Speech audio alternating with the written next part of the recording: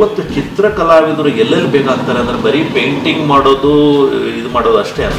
ಅನೇಕ ಸಾಫ್ಟ್ವೇರ್ ಇಂಜಿನಿಯರ್ಗಳಿಗಿಂತ ಮೇಲ್ಮಟ್ಟದ ಉದ್ಯೋಗಗಳಲ್ಲಿ ನಮ್ಮ ಕಲಾವಿದರಿದ್ದಾರೆ ಈ ಅಬ್ಸ್ಟ್ರಾಕ್ಟ್ ಆರ್ಟ್ಗೂ ಡೆಕೋರೇಟಿವ್ ಆರ್ಟ್ಗೂ ಮತ್ತೆ ಕಮರ್ಷಿಯಲ್ ಆರ್ಟ್ಗೂ ಏನ್ ವ್ಯತ್ಯಾಸ ಇದೆ? ಸಿಂಪ್ಲಿಫೈ ಮಾಡ್ತಾ ಮಾಡ್ತಾ ಮಾಡ್ತಾ ಮಾಡ್ತಾ ಹೋಗಿ ಶೂನ್ಯದ ಸ್ಥಿತಿ ತಲುಪುತ್ತಲ್ಲ ಅದು ಅಬ್ಸ್ಟ್ರಾಕ್ಟ್ ರೋಲ್ ಮಾಡೆಲ್ ಅಂತ ಪ್ರತಿಯೊಬ್ಬ ವ್ಯಕ್ತಿಗೂ ಇರುತ್ತೆ. ನಿಮ್ಮ ಇನ್ಸ್ಪಿರೇಷನ್ ಯಾರು?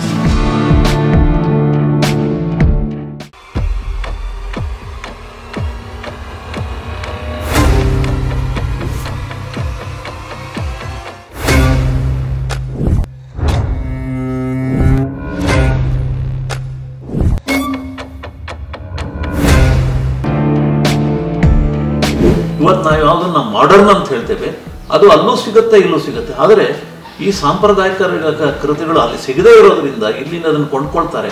ಬಹುಶಃ ನಾನು ಎಲ್ಲ ಇತ್ತೀಚೆಗೆ ಒಂದು ಕೇಳಿದಾಗ ನಮ್ಮ ಬೆಂಗಳೂರು ಹಬ್ ಆಗಿ ಮಾರ್ಕೆಟ್ ಅಂದ್ರೆ ಆರ್ಟ್ಸ್ ಹಬ್ ಆಗಿ ಮಾರ್ಕೆಟ್ ಆಗ್ತಿದೆ. ಸಾಕಷ್ಟು ಜನ ಸ್ಟಾರ್ಟ್ಅಪ್ಸ್ಗಳು ಸ್ಟಾರ್ಟ್ಅಪ್ ಜಾಸ್ತಿ ಜನ ಇವಾಗ ಚಿತ್ರಕಲೆಯಲ್ಲಿ ಇದ್ದಾರೆ ಅಂತ ಕೇಳ್ಪಟ್ಟಿದ್ದೀನಿ.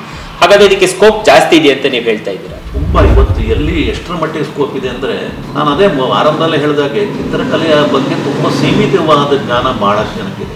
ಇವತ್ತು ಚಿತ್ರ ಕಲಾವಿದರು ಎಲ್ಲೆಲ್ಲಿ ಬೇಕಾಗ್ತಾರೆ ಅಂದರೆ ಬರೀ ಪೇಂಟಿಂಗ್ ಮಾಡೋದು ಇದು ಮಾಡೋದು ಅಷ್ಟೇ ಅಲ್ಲ. ಇಂಟೀರಿಯರ್ ಡಿಸೈ ಡಿಸೈನಿಂಗ್ನಲ್ಲಿ ಚಿತ್ರಕಲಾವಿದರು ಬೇಕಾಗ್ತಾರೆ ಬೇಕಾಗ್ತಾರೆ ಆರ್ಕಿಟೆಕ್ಚರ್ನಲ್ಲಿ ಬೇಕಾಗ್ತಾರೆ.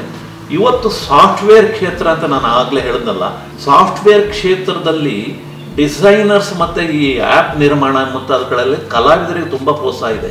ಹೌದಾ? ಬಹಳ ಜನ ಇವತ್ತು ಇನ್ಫೋಸಿಸ್ ಇರ್ಬೋದು ಬೇರೆ ಬೇರೆ ಸಾಫ್ಟ್ವೇರ್ ಕಂಪನಿಗಳಲ್ಲಿ ಕಲಾವಿದರು ಮುಂಚೂಣಿಯಲ್ಲಿ ಇದ್ದಾರೆ ಸಾಫ್ಟ್ವೇರ್ ಇಂಜಿನಿಯರ್ಗಳಿಗಿಂತ ಅವರು ಮೇಲೆ ಇರ್ತಾರೆ. ಹೇಗೆ ಸರ್? ಯಾಕೆ ಅಂದ್ರೆ ಅದರ ಆ್ಯಪ್ ಡೆವಲಪ್ ಮಾಡಬೇಕಾದ್ರೆ ಈಗ ಉದಾಹರಣೆಗೆ ಯು ಎ ಇದೆ user interface user experience U X ಆಮೇಲೆ ಈಗ ಎ ಎ ಅಂತ ಬಂದಿದೆ. ಆರ್ಟಿಫಿಷಿಯಲ್ ಇಂಟೆಲಿಜೆನ್ಸ್ ಆರ್ಟಿಫಿಷಿಯಲ್ ಇಂಟೆಲಿಜೆನ್ಸ್ ಇವುಗಳಲ್ಲೆಲ್ಲ ಕಲಾವಿದರ ಕೆಲಸ ತುಂಬ ಇದೆ.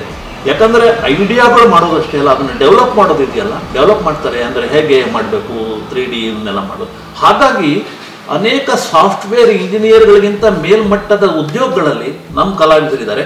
ನಮ್ಮ ಕಲಾವಿದರ ಮಾರ್ಗದರ್ಶನದಲ್ಲಿ ಅವ್ರು ಕೆಲಸ ಮಾಡ್ತಾರೆ. ಹಾಗಾಗಿ ಇವತ್ತು ಸಾಫ್ಟ್ವೇರ್ ಮತ್ತು ಕಾರ್ಪೊರೇಟ್ ಸಂಸ್ಥೆಗಳಲ್ಲೂ ಕೂಡ ಅಷ್ಟೇ ತುಂಬಾ ಒಳ್ಳೆಯ ಉದ್ಯೋಗ ಅವಕಾಶ ನಮ್ಮ ಕಲಾವಿದರಿಗೆ. ಬಹುಶಃ ನೀವು ಹೇಳ್ದಂಗೆ ಇವಾಗ animation industries graphics three D ಹೌದು. ಮಾಡ್ಲಿಂಗ್ ಅಲ್ಲೆಲ್ಲಾನು ಕಲೆಗೆ ತುಂಬಾ ಪ್ರೋತ್ಸಾಹ ಇದೆ ಅಂತ ಹೇಳ್ತಿದ್ದೀರಾ? ಸೊ ಹಾಗಾದ್ರೆ ಸರ್, ಈಗ ಕ್ಲಾಸಿಫಿಕೇಶನ್ಸ್ ಅಂತ ಬಂದ್ರೆ ಆರ್ಟ್ ಕ್ಲಾಸಿಫಿಕೇಶನ್ಸ್ ಅಂತ ನಾವು ಯೋಚನೆ ಮಾಡಿದ್ರೆ, ಈ ಅಬ್ಸ್ಟ್ರಾಕ್ಟ್ ಆರ್ಟ್ಗೂ ಡೆಕೋರೇಟಿವ್ ಆರ್ಟ್ಗೂ ಮತ್ತೆ ಕಮರ್ಷಿಯಲ್ ಆರ್ಟ್ಗೂ ಏನ್ ವ್ಯತ್ಯಾಸ ಇರುತ್ತೆ ಸರ್? ಈ ಆಬ್ಸ್ಟ್ರಾಕ್ಟ್ ಆರ್ಟ್ ಅಂದರೆ ಅದನ್ನು ನಾವು ನಾನ್ ಫಿಗರೇಟಿವ್ ಆರ್ಟ್ ಅಂತ ಹೇಳ್ತೀವಿ. ಅಂದ್ರೆ ಅದರಲ್ಲಿ ನಮಗೆ ಪರಿಚಿತ ಪ್ರಪಂಚದ ಆಬ್ಜೆಕ್ಟ್ಸ್ ಆಗಲಿ, ವ್ಯಕ್ತಿಗಳಾಗಲಿ, ಪ್ರಾಣಿಗಳಾಗಲಿ ಇರೋದಿಲ್ಲ. ಒಂದು, ಅದು ಒಂದು ರೀತಿ ಸಂಗೀತದ ಹಾಗೆ. ಸಂಗೀತದ ರಾಗ ತಾಳಗಳ ಅದೇ ರೀತಿ. ಅಂದರೆ ಸಂಗೀತ ಹೇಗೆ ಕಿವಿಗೆ ಆಪ್ಯಾಯಮಾನವಾಗಿರ್ತದೋ ಹಾಗೆ ಇದು ಕಣ್ಣಿಗೆ ಆಪ್ಯಾಯಮಾನವಾಗಿರುವಂಥದ್ದು, ಕಣ್ಣಿಗೆ ಸಂಗೀತದ ಹಾಗಿನ ಅನುಭವ ಕೊಡುವಂಥದ್ದು. ಇದರಲ್ಲಿ ಏನು ಅಂದರೆ, ಬಣ್ಣಗಳ ಮೂಲಕ, ಆಕೃತಿಗಳ ಮೂಲಕ ಟೆಕ್ಸ್ಚರ್ ಅಂತ ಹೇಳ್ತೀವಿ. ಈ ಅನೇಕರ ಮೂಲಕ ಒಂದು ರೀತಿ ಸಂಯೋಜನೆ ಮಾಡ್ತೀವಿ. ಆ ಸಂಯೋಜನೆ ಮಾಡಿದಾಗ ಅದು ಒಂದು ವಿಶಿಷ್ಟವಾದ ಪರಿಣಾಮ ಬೀರ್ತದೆ. ಅದನ್ನು ನಾವು ಅಬ್ಸ್ಟ್ರಾಕ್ಟ್ ಅಂತ ಕರಿತೀವಿ. ಅಂದರೆ, ಆ ಅಬ್ಸ್ಟ್ರಾಕ್ಟ್ ಆರ್ಟಲ್ಲೂ ಎರಡು ಮೂರು ರೀತಿ ಇದೆ. ಒಂದು ಯಾವುದೋ ಒಂದು ಕಾಂಕ್ರೀಟ್ ಆಗಿರೋದು ಉದಾಹರಣೆಗೆ, ಇಲ್ಲಿ ಇವತ್ತು ಬ್ರಷ್ ಇದೆ ಅಥವಾ ಇದಿದೆ. ಈ ಒಂದು ಇದಿದೆ. ಪಾಟ್ ಇದೆ. ಈ ಪಾಟನ್ನು ಅಬ್ಸ್ಟ್ರಾಕ್ಟ್ ರೂಪದಲ್ಲಿ ಮಾಡ್ತಾವ ಅಂದ್ರೆ ಸಿಂಪ್ಲಿಫೈ ಮಾಡ್ತಾ ಮಾಡ್ತಾ ಮಾಡ್ತಾ ಮಾಡ್ತಾ ಹೋಗಿ ಶೂನ್ಯದ ಸ್ಥಿತಿ ತಲುಪುತ್ತಲ್ಲ ಅದು ಅಬ್ಸ್ಟ್ರಾಕ್ಟ್ ಈ ಇದು ನೋಡಿದ್ರೆ ಈ ಫೋಟೋಗ್ರಫಿ ರೀತಿ ಇದನ್ನ ಚಿತ್ರ ಬರಿಬೋದು.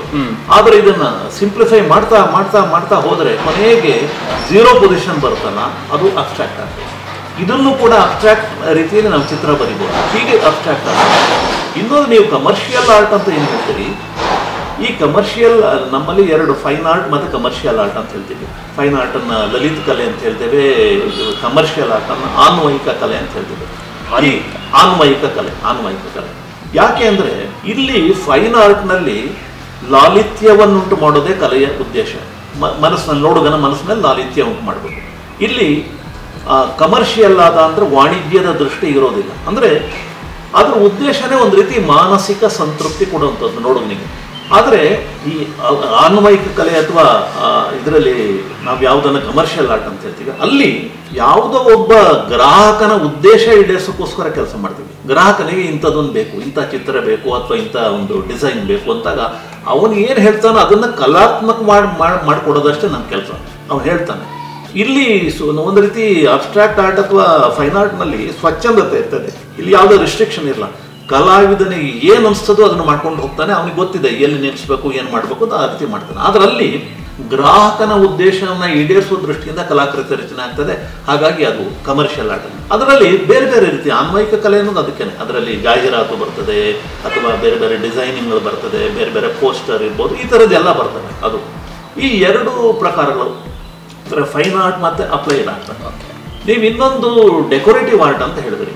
ಡೆಕೋರೇಟಿವ್ ಆರ್ಟ್ ಅಂತ ಯಾವ್ದಕ್ಕೆ ಹೇಳ್ತೀವಿ ಅಂದ್ರೆ ಅದರಲ್ಲಿ ತುಂಬಾ ಡೆಕೋರೇಷನ್ ಇರ್ತದೆ. ಅಂದ್ರೆ ಬಣ್ಣಗಳಾಗ್ಲಿ ಅಥವಾ ಆಕೃತಿಗಳಾಗ್ಲಿ. ಅಂದ್ರೆ ನೋಡೋಜನಿಗೆ ತುಂಬಾ ಖುಷಿ ಕೊಡಬೇಕು. ಇದರಲ್ಲಿ ನಾವು ತುಂಬಾ ಒಂಥರ ಢಾಳಾದ ಬಣ್ಣಗಳನ್ನು ಬಳಸುವಂಥದ್ದು. ಅಂದ್ರೆ ಅಟ್ರಾಕ್ಟ್ ಆಗಬೇಕು. ಆ ರೀತಿ ಅದನ್ನು ಡೆಕೋರೇಟ್ ಮಾಡ್ತಾ ಹೋಗ್ತೀವಿ. ಯಾವುದೋ ಒಂದು ಬ್ಯಾಕ್ ಗ್ರೌಂಡ್ ಅಥವಾ ಮತ್ತು ಅದನ್ನು ನಾವು ಡೆಕೋರೇಟಿವ್ ಅಂತ ಹಾಕ್ತೀವಿ. ಅಂದ್ರೆ ಒಂದು ರೀತಿ ಬಳ್ಳಿಗಳ ಹಾಗೇನೋ ಹೂಗಳ ಹಾಗೇನೋ ಮತ್ತೇನೋ ಒಂದು ಡೆಕೋರೇಟ್ ಮಾಡೋದಕ್ಕೋಸ್ಕರ ಇರುವಂಥದ್ದು. ಅಲ್ಲಿ ಉದ್ದೇಶ ಅದರ ಹೆಸರುಗಳೇ ಹೇಳ್ತವೆ. ಡೆಕೋರೇಟಿವ್ ಆರ್ಟ್ ಅಂದರೆ ಡೆಕೋರೇಷನ್ ದೃಷ್ಟಿಯಿಂದ ಇರುವಂಥದ್ದು ಕಮರ್ಷಿಯಲ್ ಆರ್ಟ್ ಕಮರ್ಷಿಯಲ್ ದೃಷ್ಟಿಯಿಂದ ಇರೋದು. ಫೈನ್ ಆರ್ಟ್ ಲಾಲಿತ್ಯ ಅಥವಾ ಲಲಿತ ಕಲೆ ದೃಷ್ಟಿಯಿಂದ ಇರುವಂಥ ಈ ಕ್ಲಾಸಿಫಿಕೇಶನೇ ನಮ್ಗೆ ಗೊತ್ತಾಗ್ತದೆ. ಆ ಹೆಸರುಗಳೇ.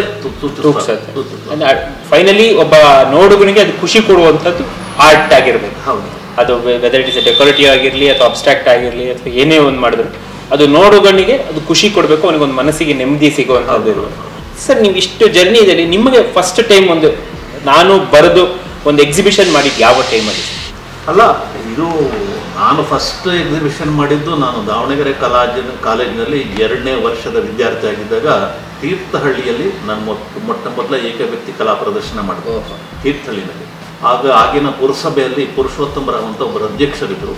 ಅವರು ಇಸ್ವಿ ಜ್ಞಾಪಕ ಇದೆ ಸರ್. ಸಾವಿರದ ಒಂಬೈನೂರ ಎಂಬತ್ತ ಮೂರು ಎಂಬತ್ಮೂರು. ಸಾವಿರದ ಒಂಬೈನೂರ ಎಂಬತ್ಮೂರರಲ್ಲಿ ನನ್ನ ಮೊಟ್ಟ ಮೊದಲ ಏಕೆ ವ್ಯಕ್ತಿ ಕಲಾ ಪ್ರದರ್ಶನ ತೀರ್ಥಹಳ್ಳಿಯಲ್ಲಿ ನಡೀತು. ಆ ಸಂದರ್ಭದಲ್ಲಿ ಅಲ್ಲಿ ನನ್ನ ಆವರ್ಗ ಮಾಡಿದಂಥ ಅನೇಕ ಕಲಾಕೃತಿಗಳ ಪ್ರದರ್ಶನ ಅಲ್ಲಿ ಮಾಡಿದ್ದೆ ನಾನು. ಅಲ್ಲಿಂದ ಅನೇಕ ಬಗೆಯ ಕಲಾಕೃತಿಗಳನ್ನ ಮಾಡ್ತಾ ಮಾಡ್ತಾ ಮಾಡ್ತಾ ನಾನು ಈವರೆಗೆ ಸುಮಾರು ಒಂದು ಇಪ್ಪತ್ತಕ್ಕೂ ಹೆಚ್ಚು ಏಕ ವ್ಯಕ್ತಿ ಕಲಾ ಪ್ರದರ್ಶನಗಳನ್ನು ಮಾಡಿದ್ದೀನಿ. ಇಪ್ಪತ್ತಕ್ಕೂ ಹೆಚ್ಚು. ಸೊ ನಿಮ್ಮ ಇನ್ಸ್ಪಿರೇಷನ್ ಯಾರು ಸರ್ ಅಂದರೆ ಇವರೊಬ್ಬರು ರೋಲ್ ಮಾಡೆಲ್ ಅಂತ ಪ್ರತಿಯೊಬ್ಬ ವ್ಯಕ್ತಿಗೂ ಇರುತ್ತೆ. ನಿಮ್ಮ ಇನ್ಸ್ಪಿರೇಷನ್ ಯಾರು ಸರ್ ಅಲ್ಲ, ಸಾಮಾನ್ಯವಾಗಿ ಆರಂಭದ ಹಂತದಲ್ಲಿ ನಾವು ಕಲಿಬೇಕಾದ್ರೆ ನಮಗೆ ಯಾವುದೋ ಚಿತ್ರಗಳು ನೋಡಿದಾಗ ಈ ರೀತಿ ಆಗಬೇಕು ಅಂತ ಅನ್ಸುತ್ತೆ.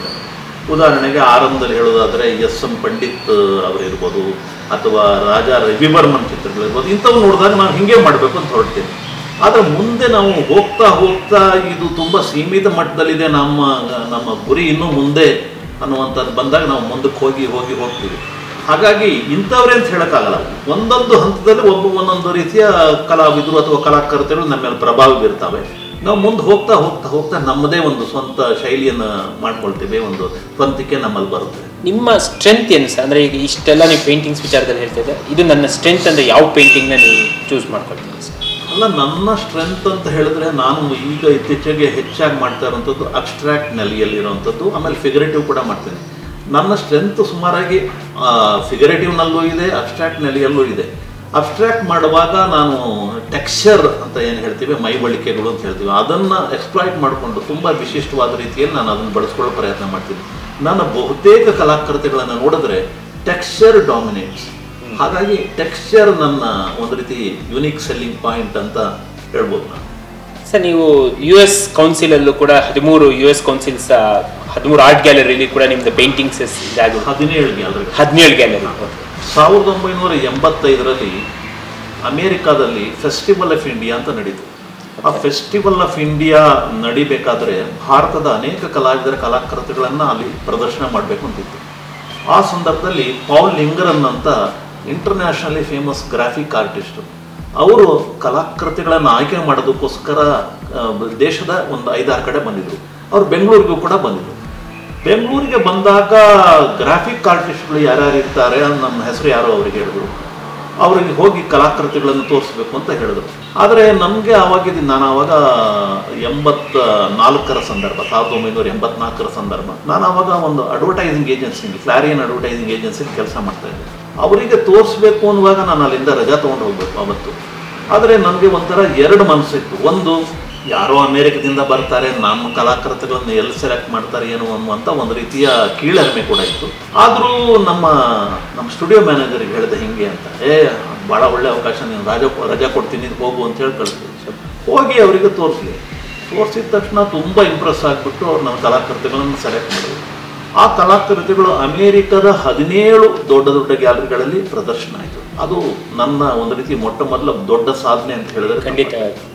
ಎಂಬತ್ತೈದು ದಿವಸ ಹೆಚ್ಚು ಕಡಿಮೆ ಮೂವತ್ತು ವರ್ಷದ ಹಿಂದೆ ನೀವು ಆ ಕ್ಷೇತ್ರಕ್ಕೆ ಬಂದಿದ್ದು ದೊಡ್ಡ ವಿಚಾರ. ಅದು ಬಂದ ಮೇಲೆ ಅಮೇರಿಕಾ ಅಂತ ಒಂದು ದೊಡ್ಡ ಸಂಸ್ಥೆಯಲ್ಲಿ ಹೆಚ್ಚು ಕಡಿಮೆ ಮೂವತ್ತೆಂಟು ವರ್ಷದ ಹಿಂದೆ ಒಂದು ಮಹತ್ ಸಾಧನೆ. ಇವತ್ತೇನು ಒಂಥರ ಆಸ್ಕರ್ ಗೀಸ್ಕರ್ ಬಂದ್ರೆ ಏನ್ ಖುಷಿ. ಪಡ್ತಾರ.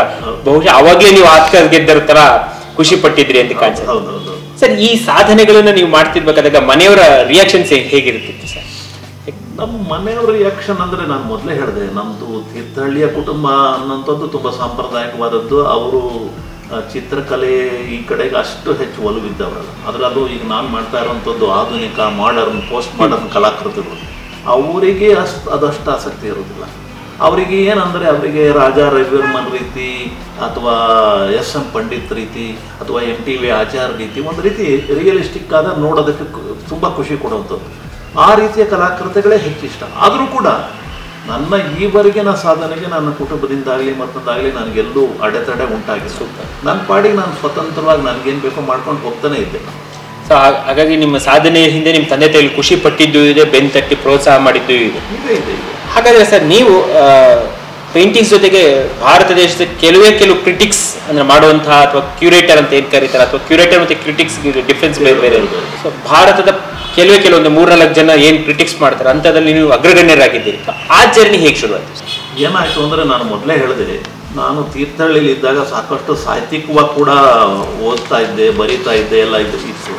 ನಾನು ಯಾವಾಗ ಈ ಚಿತ್ರಕಲೆಯ ಕ್ಷೇತ್ರಕ್ಕೆ ಬಂದಾಗ ಸುಮಾರು ಸಾವಿರದ ಒಂಬೈನೂರ ಎಂಬತ್ತರ ಸಂದರ್ಭಕ್ಕೆ ನಾನು ಬೆಂಗಳೂರಿಗೆ ಬಂದೆ. ದಾವಣಗೆರೆಯಲ್ಲಿ ನಾನು ಎಂಟು ವರ್ಷ ಇದ್ದೆ. ದಾವಣಗೆರೆಯಲ್ಲಿ ಐದು ವರ್ಷ ನನ್ನ ಶಿಕ್ಷಣ, ಆಮೇಲೆ ಮೂರು ವರ್ಷ ಅಲ್ಲಿ ನಾನು ಆರ್ಟ್ ಕಾಲೇಜಲ್ಲಿ ಲೆಕ್ಚರರ್ ಆಗಿದ್ದೆ ಆಮೇಲೆ ಸಾವಿರದ ಒಂಬೈನೂರ ಎಂಬತ್ತರಲ್ಲಿ ಬೆಂಗಳೂರಿಗೆ ಬಂದಾಗ ಇಲ್ಲಿ ಪತ್ರಿಕೆಗಳಲ್ಲಿ ವಿಮರ್ಶೆ ಇತ್ತು. ಆ ಪತ್ರಿಕೆಗಳ ವಿಮರ್ಶೆ ಬಗ್ಗೆ ನಮ್ಮ ಕಲಾ ವಲಯದಲ್ಲಿ ತುಂಬ ಒಂದು ರೀತಿ ಅಸಹನ ಇತ್ತು. ಯಾಕಂದರೆ ಯಾರು ಬರೀತಾರೆ, ಅವರಿಗೆ ಕಲೆ ಬಗ್ಗೆ ಅಷ್ಟು ಗೊತ್ತಿಲ್ಲ ಸುಮ್ಮನೆ ಏನೋ ಬರೀತಾರೆ ಅಂತ ಇತ್ತು. ಆಗ ಅನೇಕ ನನ್ನ ಕೆಲವು ಸ್ನೇಹಿತರೆಲ್ಲ ಹೇಳಿದರು, ನಿನಗೆ ಬರವಣಿಗೆ ಕೂಡ ಇದೆ, ಯಾಕೆ ನೀವು ವಿಮರ್ಶೆ ಕಡೆ ಹೋಗಬಾರ್ದು ಅಂತ ಹೇಳಿದಾಗ, ನಾನು ಆವಾಗ ವಿಮರ್ಶೆ ಬರೆಯೋದಕ್ಕೆ ಶುರು ಮಾಡಿದೆ. ಮೊದಲು ಲೋಕವಾಣಿ ಪತ್ರಿಕೆಯಲ್ಲಿ ಬರೆದೆ. ಆಮೇಲೆ ಬೇರೆ ಬೇರೆ ಪತ್ರಿಕೆಗಳಿಗೆ ಬರಿತಾ ಇದ್ದೆ. ಆ ಕನ್ನಡ ಪ್ರಭಕ್ಕೆ ಸುಮಾರು ಒಂದು ಏಳೆಂಟು ವರ್ಷ ರೆಗ್ಯುಲರ್ ಆಗಿ ಬರೆದೆ. ಕೊನೆಗೆ ಪ್ರಜಾವಾಣಿಯಲ್ಲಿ ಬರೆಯಕ್ಕೆ ಶುರು ಮಾಡಿದೆ. ಹೀಗೆ ಸುಮಾರು ಹದಿನೈದು ವರ್ಷಗಳ ಕಾಲ ನಿರಂತರವಾಗಿ ಒಂದು ವಾರವೂ ಬಿಡದೆ, ನನ್ನ ಕಾಲಮ್ ಇತ್ತು. ಒಂದು ವಾರವೂ ಬಿಡ್, ಬಿಡದ ಹಾಗೆ ಸಾವಿರಾರು ಜನ ಕಲಾವಿದರ ಬಗ್ಗೆ ನಾನು ಬರೆದಿದ್ದೀನಿ. ಸೂಪರ್ ಸೂಪರ್ ಅಂದ್ರೆ ಎಷ್ಟು ಅಂದ್ರೆ ಆಗ ಪತ್ರಿಕೆಗಳಲ್ಲಿ ಕಲಾ ವಿಮರ್ಶೆಗೆ ತುಂಬಾ ಜಾಗ ಕೊಡ್ತಾ ಇದ್ರು. ಪ್ರಜಾವಾಣಿ ಅಂತ ಪತ್ರಿಕೆಯಲ್ಲಿ ಹಾಫ್ ಪೇಜ್ ಕೊಡ್ತಾ ಇದ್ರು. ಹಾಫ್ ಪೇಜ್ ಈಗ ನೀವು ಒಂದು ಕಾಲಮ್ ಕೂಡ ಎಕ್ಸ್ಪೆಕ್ಟ್ ಮಾಡೋಕ್ಕಾಗಲ್ಲ ಅವ್ರು ಅರ್ಧ ಪುಟದಷ್ಟು ಕೊಡ್ತಾ ಇದ್ರು. ಎರಡು ಮೂರು ವರ್ಕ್ ಆಫ್ ಆರ್ಟ್ನ ನ ಚಿತ್ರ ಹಾಕ್ತಾ ಇದ್ರು. ಅಂದ್ರೆ ತುಂಬಾ ಪ್ರೋತ್ಸಾಹ ಇತ್ತು. ಆ ಒಂದು ವಿಮರ್ಶೆಯನ್ನ ಓದ್ಕೊಂಡು ಅನೇಕ ಕಲಾವಿದರು ಬೆಳೆದರು. ನಾನು ಬರೆದಂತ ವಿಮರ್ಶೆಗಳನ್ನ ಅದನ್ನ ಕಟ್ ಮಾಡಿಬಿಟ್ಟು ಆರ್ಟ್ ಕಾಲೇಜುಗಳ ನೋಟಿಸ್ ಬೋರ್ಡ್ ಮೇಲೆ ಹಾಕ್ತಾ ಇದ್ರು. ಅಷ್ಟರ ಮಟ್ಟಿಗೆ ಅದು ಒಂದು ರೀತಿ ಪ್ರಸಿದ್ಧ ಪ್ರಸಿದ್ಧಿ ಇತ್ತು. ಅವಾಗ ಸೋಷಿಯಲ್ ಮೀಡಿಯಾ ಇರಲಿಲ್ಲ. ಬರೀ ಬರೀ ಪೇಪರ್ ಒಂದು ಹೆಸರು ಬಂತು ಅಂದ್ರೆ ಒಂದು ಖುಷಿ. ಅದರಲ್ಲೂ ನೀವು ಅಷ್ಟು ವರ್ಷಾನುಗಟ್ಲೆ ಅಷ್ಟು ಕಲಾ ಮಾಡ್ತೀರಾ ಅಂತಂದ್ರೆ ನಿಜವಾಗ್ಲೂ ಅದು ದೊಡ್ಡ ಸಾಧನೆನೇ ಸರ್ ಹಾಗಾದ್ರೆ ನೀವು ಈ ಪೇಂಟಿಂಗ್ಸ್ನ ಕ್ರಿಟಿಕ್ಸ್ ಮಾಡಬೇಕಾದಾಗ ಎಕ್ಸಾಂಪಲ್ ಹೆಂಗೆ ಜಡ್ಜ್ ಮಾಡ್ತಾರೆ ಸರ್ ಅಂದರೆ ಇದು ಇದೇ ಥರ ಪೇಂಟಿಂಗ್ಸ್ ಈ ಥರದ್ದೇ ಇದು ಹೀಗೆ ಮಾಡಿದ್ದಾರೆ. ಇದಕ್ಕೆ ಇಷ್ಟೇ ಬೆಲೆ ಅಂತ ಹೆಂಗೆ ನೀವು ನಿಗದಿ ನಿಗದಿ ಮಾಡೋಕೆ ಸಾಧ್ಯ ಇದೆ?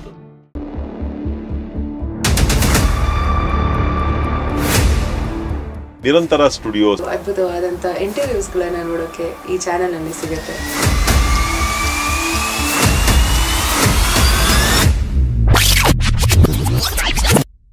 ದಯವಿಟ್ಟು ನೀವೆಲ್ಲರೂ ಅದನ್ನು ನೋಡಿ ಅವ್ರನ್ನ ಪ್ರೋತ್ಸಾಹಿಸಿ. ಎಲೆಮರೆಯ ಕಾಯಿ ಆಗಿರುವಂತಹ ಕಲಾವಿದರನ್ನೆಲ್ಲ ಹುಡುಕಿ ಹುಡುಕಿ ಇಂಟರ್ವ್ಯೂ ಮಾಡ್ತಿದೆ. ತೆರೆ ಹಿಂದೆ ಏನೇ ನಡೀತಾ ಇದೆ ಅಂತ ತಿಳ್ಕೊಳ್ಳಿ. ಆದ್ರೆ ಅತ್ಯುತ್ತಮವಾದ ಕಂಟೆಂಟ್ ಗಳನ್ನ ಹಾಕೋದಿದೆಯಲ್ಲ? ನಿರಂತರವಾಗಿ ನೋಡುಗರನ್ನ ಹಿಡಿದಿಟ್ಕೊಳ್ಳುವಂತಹ ಕಂಟೆಂಟ್ ಗಳನ್ನ ಹಾಕ್ತಾ ಹೋಗ್ತದೆ ತುಂಬಾನೇ ಯುನೀಕ್ ಸೆಲೆಕ್ಷನ್ ಅಂತ ಹೇಳೋದಕ್ಕೆ ಇಷ್ಟಪಡ್ತೀನಿ. ಇಲ್ಲಿ ಒಳ್ಳೊಳ್ಳೆ ಕಂಟೆಂಟ್ಗಳಿದೆ Nirantara studio YouTube channel subscribe ಮಾಡಿ. ಅಂಡ್ ನಾನು ಕೂಡ ಸಬ್ಸ್ಕ್ರೈಬ್ ಮಾಡಿದ್ದೀನಿ. ನೀವು ಕೂಡ ಸಬ್ಸ್ಕ್ರೈಬ್ ಮಾಡಿ. ನೋಟಿಫಿಕೇಶನ್ಗೋಸ್ಕರ ಬೆಲ್ ಐಕಾನ್ ಒತ್ತಿ. ನಿರಂತರ ಸ್ಟುಡಿಯೋಸ್ ಅವರಿಗೆ ನನ್ನ best wishes all the best all the best Nirantara studios all the best Nirantara YouTube channel and all the best to Nirantara studios